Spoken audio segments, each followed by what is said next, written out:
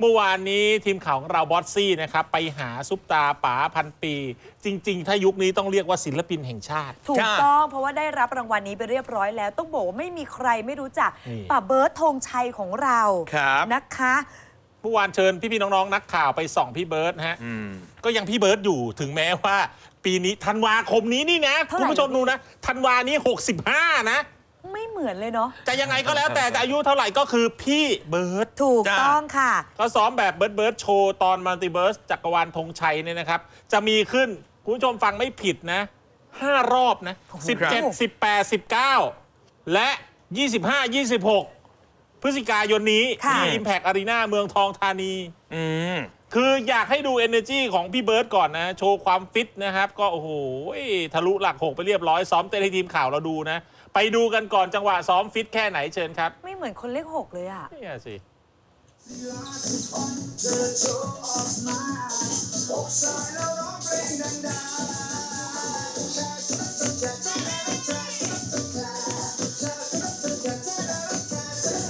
สุดยอดมากแล้วพี่เบิร์ดดูรายการเรานะ พี่เบิร์ดเจอกันตอนนั้นสะกิดๆค่ะ เต็นท์ไอเราอับพี่เบนกับผู้คือถ้าทักพี่บุ๋มพี่เบนชมพู่อะเรายังโอเค จูหน้าจอประจำพี่ไม่ได้ดังอะไรเลยกันเต็นท์เต็นท์ พี่ดูอยู่นะอืพี่มดูอยู่ติดตามรายการติดตามนี่ไปเมาส์เมิลไม่แต่ได้นะ พี่เบิร์ดเป็นคนติดตามคนในวงการจริงๆจรินะงเวลาเจอเขาจะรู้เลยว่าตอนนี้ใครทำอะไรอยู่บ้างอะนะคะอืมอาจากคลิปดูไม่ต้องถามแล้วแหละว่าฟิตแค่ไหนคุณผู้ชม พร้อมมากจริง ๆสำหรับคอนเสิร์ตครั้งนี้ใครที่จะจองบัตรห้ามพลาดเลยนะจ๊ะจ้าส่วนอีกเรื่องหนึ่งที่ไม่ถามพี่เบิร์ดไม่ได้เลยคือย้อนกลับไปเพื่อตอนเดือนสิงหาที่ผ่านมานะครับกระทรวงวัฒนธรรมเนี่ยประกาศรายชื่อศิลปินแห่งชาติประจำปี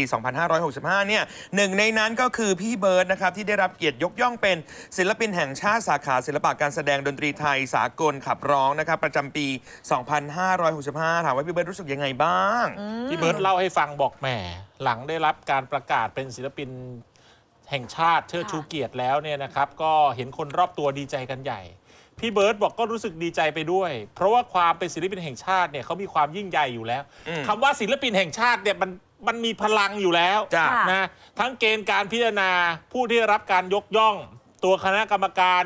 รวมไปถึงทุกคนที่ผ่านการยกย่องที่ผ่านมาพี่เบิร์ตก็ให้มาเยอะนะครับ ทั้งความสุขที่สอดแทรกความเป็นไทย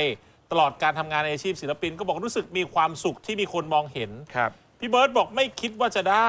จริง ๆ ก็ตั้งใจทำให้ดีที่สุด ไม่ทำให้ทุกคนผิดหวังก็ทำครับเองชายก็ยินดีด้วยนะคะ เป็นรางวัลที่ยิ่งใหญ่จริง ๆนะคะ ถามไปถึงเรื่องของการดูแลสุขภาพบ้างดีกว่าคุณผู้ชมก็ดูวัยเลขหกนะ ออกอืม65 ดูแลตัวเองยังไงในวัยเลขหกแบบเนี้ยนะคะ เขาบอกว่าก็ดูแลตัวเองแหละ แล้วสังเกตไหมไม่แก่เลยนะ หน้าอืมหน้าใช่เหมือนเดิม ฟิตเหมือนเดิม พี่เบิร์ตบอกว่าเคล็ดลับง่าย ๆ เลยจ้ะ อาหารการกินนี่แหละต้องดูแลให้เหมาะสม บางทีก็ต้องฝืนตัวเองบ้างเลือกกินแต่สิ่งดีๆนะคะอืมแล้วก็การนอนหลับสำคัญมากต้องนอนหลับพักผ่อนให้เพียงพอ จ้า แล้วพอถามพี่เบิร์ดอ้าวพี่เบิร์ดมีเมนูโปรดไหมพี่เบิร์ดบอกว่าช่วงนี้ไม่มี เพราะว่าเป็นคนที่กินได้ทุกอย่างเลยแต่พี่เบิร์ด บอกว่าไม่เคยกินหมูกระทะชาบูเลย นะในชีวิตนี้ เมื่อวานนี้เป็นไวรัลในใช่ TikTok ในอะไรนะ ประเด็นผมนึกว่าอะไรประเด็นเป็นประเด็นใหญ่มากหมูนะกระทะนี่เป็นประเด็นมาหลายประเด็นนั้นล่าสุดก่อนหน้านี้เออเออเชฟเกาหลีมาเมืองไทยมาเออย่างหมูกระทะแบบวิธีของเกาหลีว่ายังไงให้กระทะไม่ไหม้อ่าก็โดนคนไทยทัวร์ลงไปนิดนึง ก็เมื่อเมื่อก่อนจริงๆอะเราก็ตั้งชื่อร้านกันที่เราเห็นก็คือหมูย่างเกาหลีเออแล้วค่อยหลังๆก็เพี้ยนไปเป็นหมูกระทะหมูกระทะนี่แหละอืมเออเออนะก็ว่ากันไปแล้วก็มีนี่ไงผู้หญิงที่จะคลอดลูกแล้วไปน้ำคร่ำแตกในร้านหมูกระทะอีกอันนั้นอีก อันนี้ล่าสุดประเด็นใหม่พี่เบิร์ด ประเด็นใหญ่เลยไม่พี่กินเบิร์ตหมูไม่เคยกระทะกินหมูกระทะอืมไม่เคยกินชาบู คือไม่กินเลยล่าสุดที่คนที่ทั่วบ้านทั่วเมืองอย่างหมาล่าโอ้โหแถวอสมทเนี่ยนะจ้าทุกตรอกซอกซอยเต็มไปหมดเนี่ยนะหมาล่งหมาล่าเนี่ยนะ ก็ปรากฏว่าก็เจอ ปรากฏว่าพี่เบิร์ตก็บอกไม่เคยกินเหมือนกัน คือจะบอกว่ามันเป็นเมนูที่อร่อย แต่เราก็รู้กันอยู่แล้วว่ามันมันอะอืมมันก็มีทั้งโทษนั่นแหละ แต่ว่ามันก็มีผักอะถ้าเกินกินผักเยอะอาจจะได้ประโยชน์หน่อย ครับ แต่บางคนก็ชอบกินไอ้ยิ่งโดยเฉพาะไอ้ก้อนมันสุดสุดข้างบนต้อนะงให้มันกรีมเกรียมๆหน่อยแล้วเป็นชิ้นเดียวกรแล้อบวต้องแย่งกันอะๆเออ กัดเข้าไปนะมันความมันมันหอมนะกัดเข้าไปแล้วมันมันแตกโป๊ะในปากนั่นไง อื้อหือเราก็รู้ทั้งรู้ว่ามันเป็นโทษแต่เราก็ว่ามันอร่อย ก็สวนหัวใจไปแล้วรอบหนึ่งเห็นไหมล่ะ เออใช่พี่เต้นอะอะก็เท่าที่เราไปส่องไอจีของพี่เบิร์ตเนี่ยนะโอ้โหเจอภาพพี่เบิร์ตเนี่ยประธานโทษทำอะไรฮะนี่ฮะ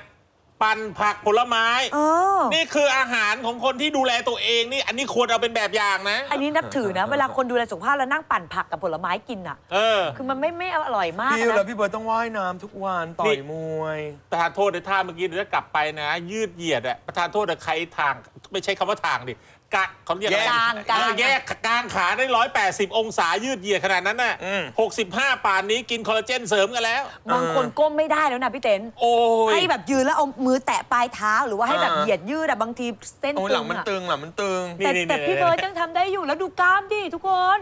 65 นะ ผมไม่ได้ย้ำเรื่องอายุนะ แต่ย้ำเพื่อให้เห็นว่า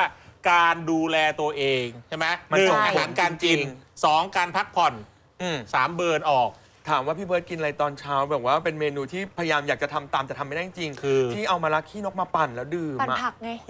มะระขี้นกปั่น แล้วก็ดื่มสดๆเลยแบบไม่เอาพี่เบิร์ดเอาไปเลย เพราะพี่เบิร์ดชื่อแปลว่านกหรือเปล่าเลยกินมะระขี้นกอ๋อไม่เกี่ยวไม่เกี่ยวมันคือสุขภาพเรื่องนะกินคุณมะระขี้เต็นท์ไอ้อะไรมันมีของคุณที่ไหนล่ะ ไม่ใช่มุกไม่มี ไปฟังพี่เบิร์ดสัมภาษณ์ดีกว่า เชิญฮะ ไม่เคยคิดเลยครับ เพราะว่าพี่ว่าเขายิ่งใหญ่อะเขายิ่งใหญ่มากเลยศิลปินแห่งชาติเขายิ่งใหญ่ด้วย ด้วยการตัดสิน เขายิ่งใหญ่ด้วย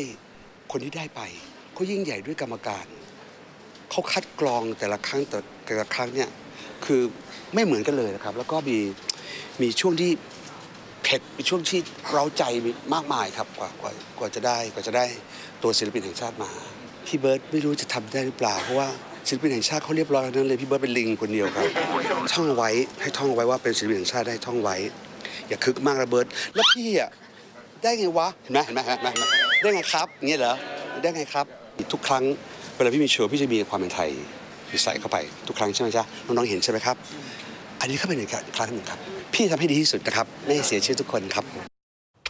ก็เป็นตัวอย่างแล้วนะ ต้องเป็นแบครับบอย่างนะ เราก็อยากแก่เขาเรียกว่าอายุเยอะอย่าเรียกว่าแก่ อายุเยอะแบบมีคุณภาพอืมแข็งคือแรง สังคมไทยอย่างที่ทราบกันนะสังคมโลกเลยมั้งที่อนาคตมันก็เข้าสู่สังคมผู้สูงอายุแล้วนี่ใช่ค่ะอ่าใช่เพราะฉะนั้นเนี่ยการดูแลสุขภาพที่ดีอย่างแรกคือหนึ่ง